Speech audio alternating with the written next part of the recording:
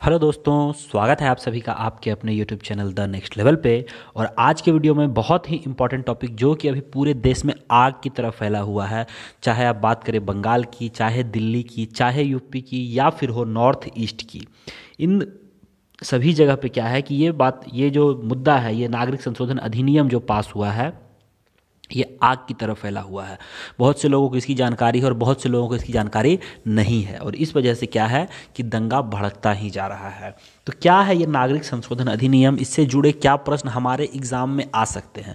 अब देखिए, कहीं भी दंगा हो रहा है या कुछ भी हो रहा है तो वो हमारे एग्ज़ाम में नहीं आएगा। लेकिन हम यहाँ पे जो पढ़ेंगे, हम ये पढ़ेंगे कि इससे रिलेटेड एग्ज़ाम में क्या आ सकता है। और क्योंकि ये अभी एक बहुत ही हॉट टॉपिक है तो इससे एग्ज़ाम में क्वेश्चंस आने के चांसेस बहुत ज़्यादा हैं। तो मैं यहाँ पे कोशिश करूँगा कि कुछ क्वेश्चन आपको यहाँ पे कंप्लीट करा दूँ। साथ ही इससे रिलेटेड और भी जो अन्य फैक्ट जो है, वो भी आपको मैं क्लियर कर दूँ। आपने निश्चय ही कहीं और भी जगह पे इसके बारे में क्वेश्चंस पढ़े होंगे, देखे होंगे।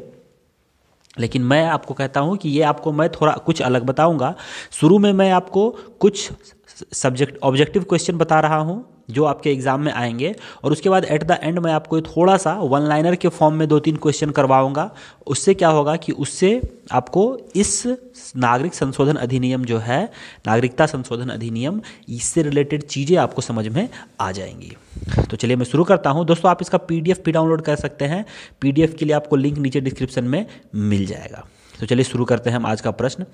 पहला क्वेश्चन है कि नागरिकता संशोधन बिल सबसे पहले लोकसभा में कब पेश किया गया था? तो देखिए, ये अभी बहुत से लोगों को ऐसा लग रहा होगा कि ये पहली बार लॉन्च हुआ है, लेकिन नहीं, ऐसा नहीं है।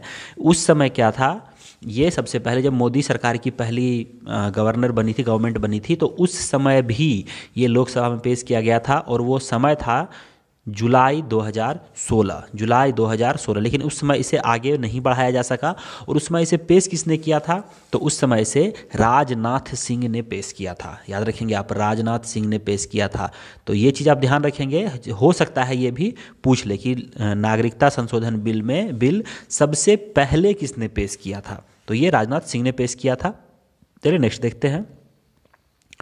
कि नागरिकता संशोधन बिल लोकसभा में कब पास हुआ? तो इसको दोबारा फिर से, उस समय इसको खारिज कर दिया गया था तो दोबारा दोबारा इसको फिर से यहाँ पे पेश किया गया और ये लोकसभा में पास हो गया। तो देखिए, कोई भी बिल जो है, कभी भी कोई एक्ट जो आता है, देखिए मैं आपको समझा देता हूँ यहाँ पे एक चीज़, ये एग्ज़ाम में भी पूछ लिया जाता है बहुत बार, कि कोई भी एक्ट बनने से पहले वो बिल बनता है। वो बिल के तौर पे लोकसभा या राज्यसभा दोनों में से कहीं भी पेश किया जा सकता है। ठीक है? इन दोनों में से इसे पास करवाना होता है और फिर उसके बाद उसके बाद राष्ट्रपति उस पर अपनी अप्रूवल देते हैं और उसके बाद वह जो बिल है वो एक्ट बन जाता है। तो इसी के बारे में आप देखिए, शुरू में आप इन्हें देख रहे होंगे न्यूज़ में टीवी में। पहले सी ए बी के नाम से आता था कि सी ए बी का हम विरोध कर रहे हैं, ये कर रहे हैं और अब आप देखेंगे तो वो सी ए ए बोलते हैं। तो बहुत से लोग इसमें भी कंफ्यूज हो रहे होंगे कि पहले यार सी ए बी था, अब सी ए ए हो गया है, ये क्या है? अब सी ए बी कहाँ चला गया?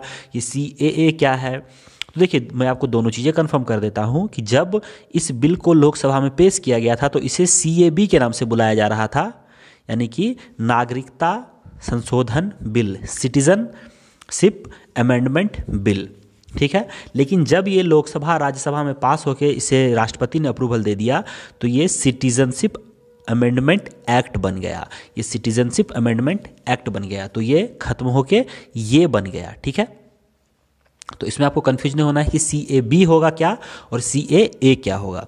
तो ये लोकसभा में कब पास हुआ? तो ये लोकसभा में पास हुआ 9 दिसंबर 2019 को। 9 दिसंबर 2019 को, ठीक है? अभी मैं इसी से रिलेटेड सिर्फ़ आपको क्वेश्चन करवा रहा हूँ और इसके बाद इसके बाद मैं इसके बारे में भी आपको थोड़ा सा समझा दूँगा। अगर आप इंटरेस्टेड होंगे तो आप सुन लेना और अगर आपको जानकारी है तो आप सिर्फ़ इसको एज अ क्विज़ खेल के भी कि आपको कितने क्वेश्चन इसमें से आते हैं, आप एज अ क्विज़ ले के इसे जो भी जितने भी क्वेश्चन हैं, आप उसके बाद चले जाना। रुकने की कोई ज़रूरत नहीं है।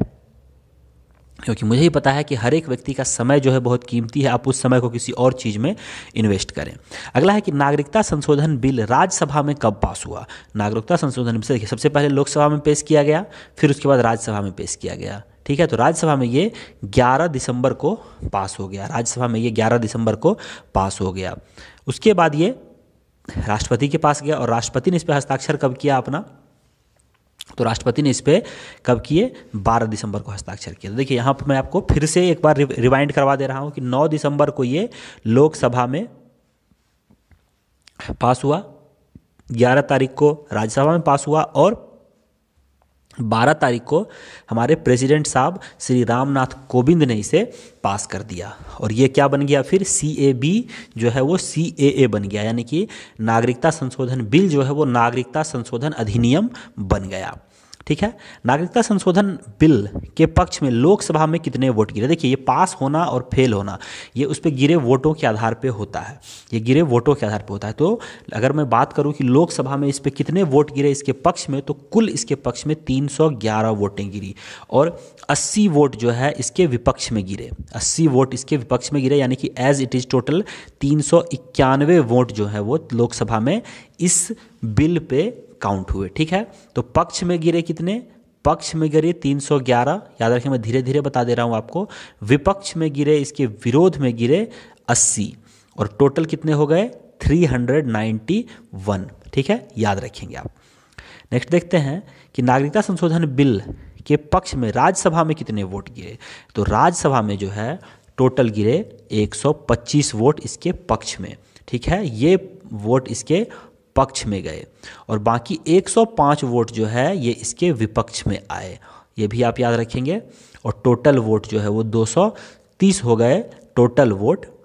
ठीक है? तो ये चीज़ आपको ध्यान रखना है। उसके बाद यहाँ से भी ये पास हो गया और उसके बाद राज्य उसके बाद ये क्या बन गया? अब देखिए, अब यहाँ पे हम क्या बात करेंगे? अब हम बात करेंगे नागरिकता संशोधन अधिनियम की, क्योंकि उस समय तक वो बिल चल रहा था, लेकिन जब राज्यसभा और लोकसभा दोनों से पास हो गया तो अब ये क्या बन गया? अब ये बिल अधिनियम बन चुका है। तो इसमें क्या है? तो देखिए, नागरिकता संशोधन अधिनियम 2019 के तहत किस देश के अल्पसंख्यकों को शामिल नहीं किया जा रहा है? तो देखिए दोस्तों, इसके तहत सिर्फ़ तीन देशों के अल्पसंख्यक को शामिल किया गया है, पाकिस्तान अफ़गानिस्तान और बांग्लादेश। और श्रीलंका के अल्पसंख्यक को शामिल नहीं किया गया है। यानी कि पाकिस्तान, अफ़गानिस्तान और बांग्लादेश के अलावा किसी अन्य देश के अल्पसंख्यक को इसमें शामिल नहीं किया गया है। ठीक है? सिर्फ़ पाकिस्तान, अफ़गानिस्तान और बांग्लादेश के अल्पसंख्यकों को इसमें शामिल किया गया है। आगे है कि नागरिकता संशोधन अधिनियम 2019 के तहत कट ऑफ़ तारीख क्या रखी गई है? कट ऑफ़ तारीख, जैसे कि आपके और हमारे एग्ज़ाम में कट ऑफ़ मार्क्स होते हैं। इस तरह से इसके लिए कट ऑफ़ तारीख रखी गई कि इस तारीख से के पहले से जो जो रह रहे हैं भारत में लगातार, वो उन्हें मिलेगा। इस बिल के तहत हमारे, हम इस, हम सिटीजनशिप देंगे, ठीक है? और जो इसके बाद रह रहे हैं तो उन्हें दूसरी प्रोसेस से लेना होगा, ठीक है? तो इसके लिए जो कट ऑफ़ डेट रखी गई, वो 31 दिसंबर 2014 रखी गई। अब क्या है ये कट ऑफ़ तारीख? देखिए, भारत में इन दो, इन तीनों देशों से, यानी कि बांग्लादेश, पाकिस्तान और अफ़गानिस्तान के अल्पसंख्यक जो हैं, वो अगर 31 दिसंबर 2014 के पहले से 14 के पहले से अगर भारत में रह रहे हैं, या इस समय से, इस समय से पाँच साल लगातार, पाँच साल लगातार भारत में रहे हैं, ठीक है, पाँच साल, जिसमें से एक साल आपको कंटिन्यू एक साल भारत में ही रहना है, वो आपको प्रूफ देना होगा, और उसके अलावा पाँच साल आपको रुक रुक के रहना है तो वैसे में अगर आप रहे हैं, वो जो व्यक्ति हैं, वो रहे हैं तो उन्हें नागरिकता दी जाएगी भारत की। तो इसके लिए कट ऑफ़ तारीख 31 दिसंबर 2014 रखी गई है, जिससे जिस पे ये काउंट होगा कि 31 दिसंबर 2014 के हिसाब से क्या इसके पाँच साल पूरे हो रहे हैं या नहीं हो रहे हैं। ठीक है? जो बेस ईयर हम मानते हैं।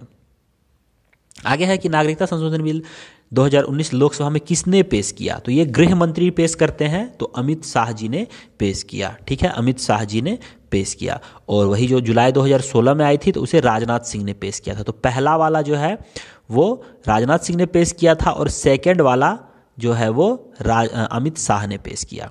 ओके?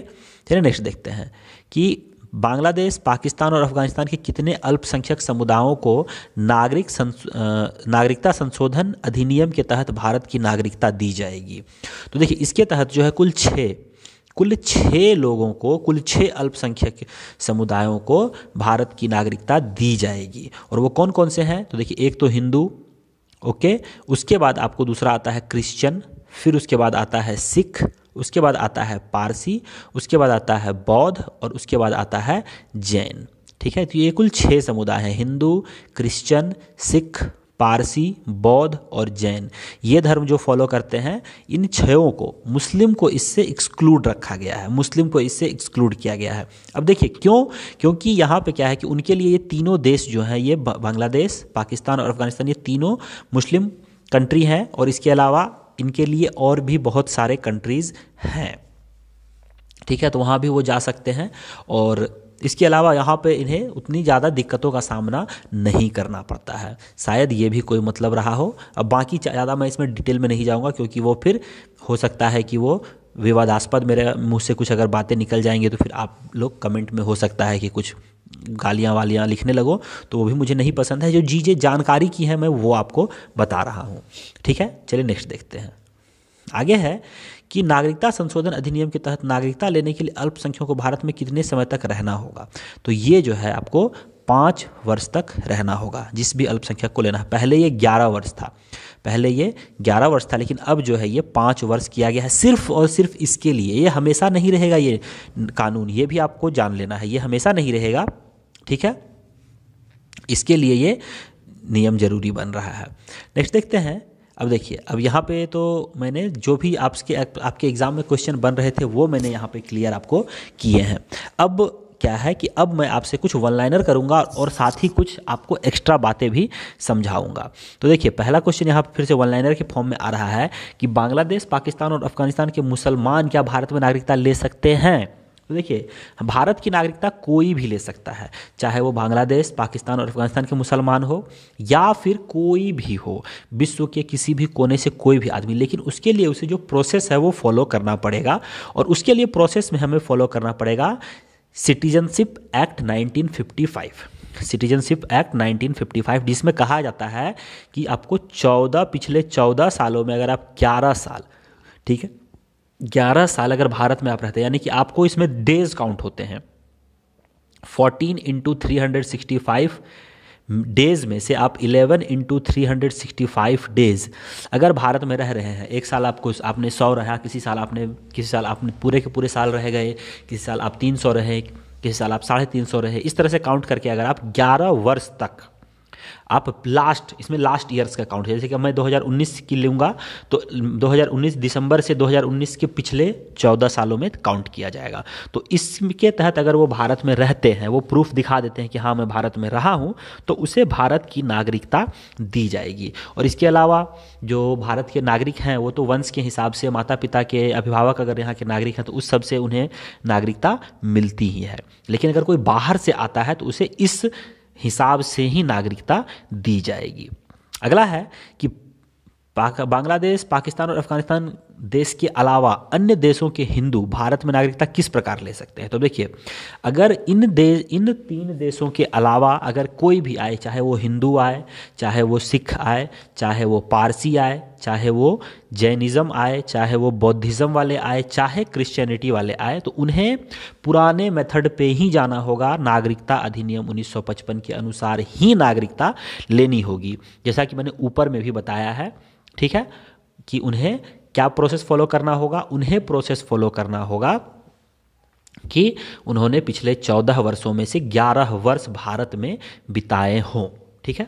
चलिए नेक्स्ट देखते हैं कि बांग्लादेश, पाकिस्तान और अफ़गानिस्तान के अल्पसंख्यक क्या कभी भी भारत में पाँच वर्ष रहकर नागरिकता ले सकेंगे तो ये ऐसा नहीं है कि कभी भी वो आए पाँच वर्ष ले। ये इकतीस दिसंबर 2014 के बाद आए हुए लोगों को नागरिकता, यानी कि नहीं, ये चीज़ जो है, ये गलत है। ये मतलब कि पाँच, कभी भी पाँच वर्ष रह के नहीं, ये इकतीस दिसंबर 2014 के हिसाब से काउंट होगा। और उस हिसाब से जो लोग अभी अभी ही काउंटिंग इसका होगा कि जो लोग रह आएँगे यहाँ पे, जो भारत में रह रहे हैं, उनको काउंट करके, उनके, उनकी जाँच करके करके उनको नागरिकता दे दी जाएगी। और फिर ये चीज़ दोबारा नहीं होने वाला है, ये भी चीज़ आप ध्यान रखेंगे। ऐसा नहीं है कि इसके लिए फिर से, अब फिर से कोई दूसरा अगर एक्ट आए तो हम कह नहीं सकते, लेकिन अभी इसके हिसाब से ये दोबारा नहीं होगा। ठीक है, ये चीज़ आप याद रखेंगे। इसमें ऐसा नहीं है कि उनके जितने भी लोग हैं, उनके घर घर जाके सबको, अरे भाई, आप कौन से धर्म के हो? अच्छा बांग्लादेश के, आप हिंदू हो? अच्छा आप बांग्लादेश के क्रिश्चियन हो? तो चलो, आपको भारत में नागरिकता हम देंगे। ऐसा कुछ नहीं होने वाला है। जो लोग भारत में रह रहे हैं, उन्हें ही नागरिकता मिलेगी।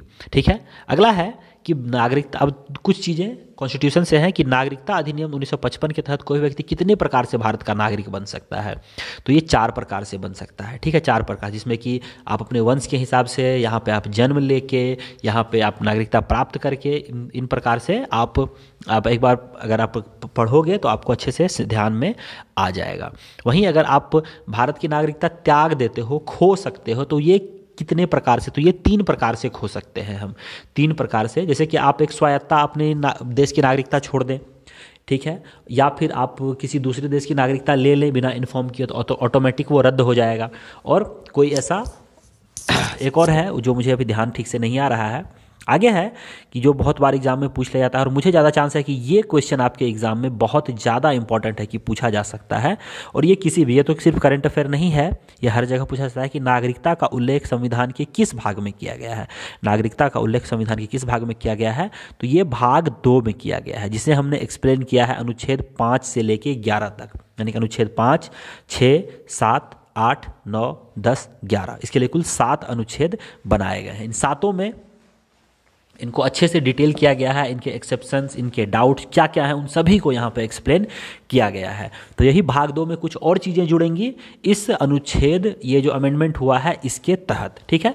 तो आई होप आपको ये सारी चीज़ें समझ में आई होंगी, और जो भी मैंने बताने का प्रयास किया है, जो भी आपको जानकारी देने का प्रयास किया है, वो आपको पसंद आया होगा। अगर आपको वीडियो पसंद आया है तो आप वीडियो को एक बार लाइक ज़रूर करें। अपने साथियों के साथ भी आप इसे चाहें तो शेयर कर सकते हैं, अगर उन्हें भी इसकी जानकारी चाहिए तो वो इन्हें जान सकते हैं। और देखिए कुछ चीज़ें अगर छूट गई हैं तो मैं उन्हें आने वाले अपने मैं करंट अफेयर के वीडियोस भी लाता हूँ तो उसमें मैं उन छोट, छूटी हुई चीज़ों को उसमें ऐड कर दूँगा, ताकि आपको और भी कोई दिक्कत ना हो।